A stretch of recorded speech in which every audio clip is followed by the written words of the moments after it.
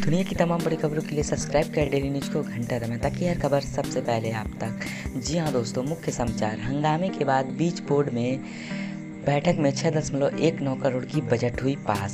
समेत, नगर पंचायत कालियर बोर्ड में बैठक में जमकर हंगामा हुआ। हंगामे के बीच एक वार्ड में नामकरण हुआ। एक वार्ड के सदा विकास कार्यों की तरफ़ बजट स्वीकृत हो चुकी है।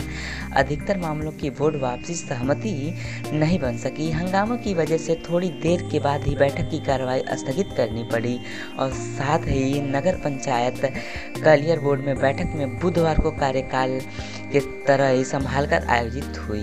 बैठक में भी कार्यवाही के रजिस्टर में अंकित करने के लेकर हंगामे की शुरुआत हुई।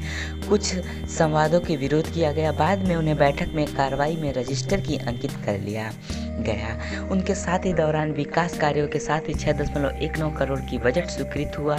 नगर पंचायत के वार्ड एक का नाम अहमद नगर कर दिया गया है। वार्ड वार्ड नंबर के दो नालों की, नाली के निर्माण खंड के जो आज विकास कार्य की स्वीकृत हुई थी बोर्ड में संभावित खेतों में खेमों की तरह एक दूसरे को प्रभावित कर दिए गए थे। इसी के बीच हंगामे होते रहे। मामलों के लिए लेके बता दें कि इसी के साथ मामला बढ़ता ही जा रहा था।